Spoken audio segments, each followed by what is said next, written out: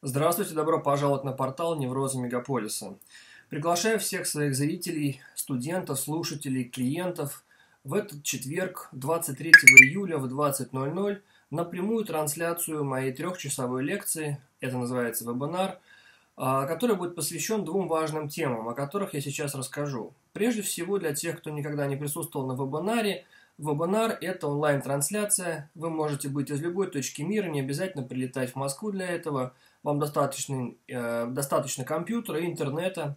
Вы оплачиваете регистрацию э, через э, мой сайт Без Невроза ТВ.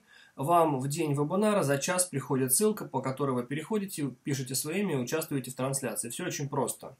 Вас видно не будет, будет видно только меня, поэтому вебинар практически анонимен. Вы можете задавать вопросы письменно в чате, на которые я, конечно же, буду отвечать.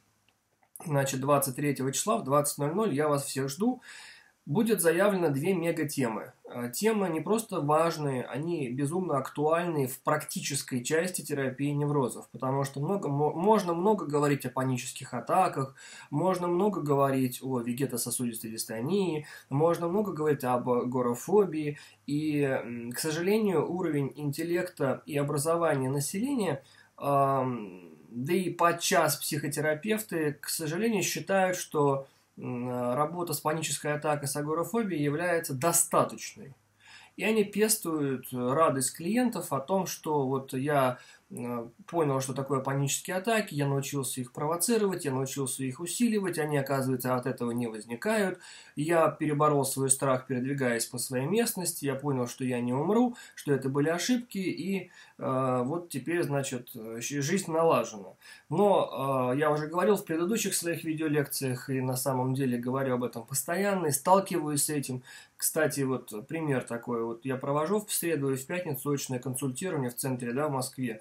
Вы не поверите, еще не пришло ни одного клиента, который пришел бы с конкретной жалобой, здравствуйте, у меня какие-то приступы, у меня что-то с сердцем. То есть все приходят уже ко мне, просмотрев все видеолекции, проработав э, так или иначе с кем-то или еще как-то, поняв, что такое панические атаки, научившись их не бояться или как минимум передвигаться по городу. Но есть совершенно другая проблема, потому что напряжение вегетативное не заканчивается, Проблемы определенные фобические не заканчиваются, проблемы навязчивости не заканчиваются, несмотря на то, что у человека нет панических атак, и он передвигаться стал.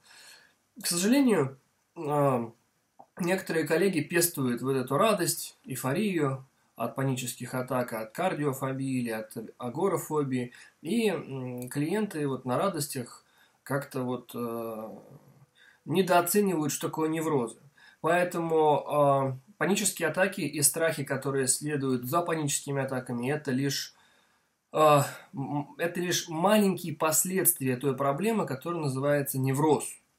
Потому что сама паническая атака и сама агорафобия неврозом не называется. Это лишь проявление неврозов, проявление испуга, проявление неправильного знания, проявление неправильных рефлексорных фиксаций, проявление неправильного поведения. А сама по себе проблема, вызывающая напряжение – внутри тела, или формирующие обсессии, или формирующие компульсии, навязчивые мысли, ритуалы, или формирующие определенное смещение внимания в разные фобии, то у меня это, то у меня это, то у меня это. Вот эта проблема и называется неврозом. Поэтому при ипохондрическом расстройстве, при паническом расстройстве, терапия панических атак, агорафобии, она не является фундаментально терапевтичной, она является краткосрочной на который этап клиент может прибыть в такой краткой эйфории. У меня он сколько людей, которые посмотрели ролики, которые посмотрели там DVD-материалы, вебинары, стали передвигаться самостоятельно, у них нет панических атак, но они пишут мне какие-то письма, да, с благодарностью. Я говорю, стойте, я говорю, ребята, я говорю, это не все.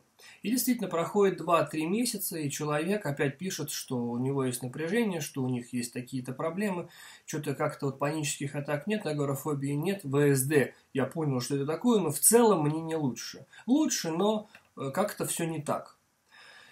Вот об этом будем говорить. Итак, ребятки, первая тема, которая будет в четверг 20.00, уже в этот четверг, торопитесь, пожалуйста.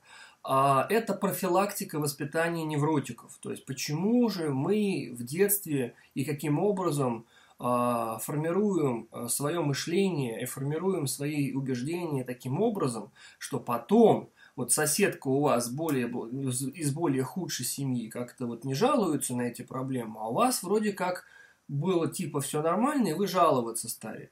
Каким образом поведение родителей формирует невротическую психику? Каким образом ребенок формирует тактики и стратегии, каким образом потом формируются вегетативные дисфункции, паники, фобии, невротические проявления. Как воспитывать детей, чтобы не создать сильных невротических проблем, потому что мы знаем фразу фундаментального психотерапевта всех времен и народов «достаточно хорошие родители», да, «достаточно хорошая мать». А, но здесь нужно понимать, что нельзя быть идеальными родителями, нельзя идеально воспитывать ребенка. Можно максимально сгладить острые углы.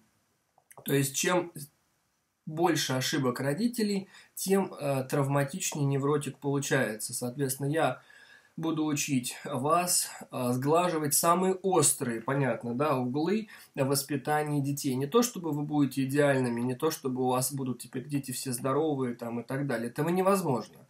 Э, я помогу вам сгладить самые яркие проблемы, которые приводят к серьезным невротическим нарушениям. Это понятно? Окей. И вторая самая главная тема, которую мы будем с вами обсуждать в этот четверг, это э, профилактика э, ссор в паре, профилактика и решение проблемы в паре, потому что зачастую очень э, а, много приходит клиенток или клиентов, у которых э, суть невротического конфликта, если рассматривать эту концепцию, или суть невротических проблем э, является недосказанность и нерешенность вопросов семейной или, или семейной или личной жизни. Вот как разговаривать со своими вторыми половинками, как обсуждать, как э, понимать, э, э, я приведу много примеров, как это происходит, да, именно в семейных э, отношениях. Как разговаривать, если вы только начали жить вместе, как уберечь себя от истирания, так скажем, психологического и сексуального, как лучше выстроить поведение девочки и мальчику в паре. Психоаналитически посмотрим, как это выглядит. В общем, две важные темы, они не просто философские, они очень практические, потому что они взяты из моего кабинета, где я постоянно вижу, как э, люди от недосказанности, от стеснения, от каких-то обид, от замалчивания, от проглатывания не могут решить внутренние проблемы в семье. Из-за этого напряжение только нарастает и усиливается. Соответственно, 23 э, июля в 20.00 в четверг я вас жду на онлайн-трансляцию. Пожалуйста, Приходите, ссылка есть на форму оплаты. Участие за 3 часа стоит 950 рублей. А, для тех, кто не живет в Москве, хочу вам сказать, что те две темы, которые я буду вам а, рассказывать, и тот практический момент, который вы получите за 3 часа, ну, собственно говоря, стоит в несколько десятков раз дороже, потому что вы этот же объем материала получите на индивидуальном или семейном консультировании за гораздо большие деньги. Поэтому приходите, не пожалеете эти 950 рублей. И я уверен, что если у вас нет детей, вы получите массу понимания на будущее. Если вы только вступаете в отношения с вашим партнером, вы получите массу информации для профилактики.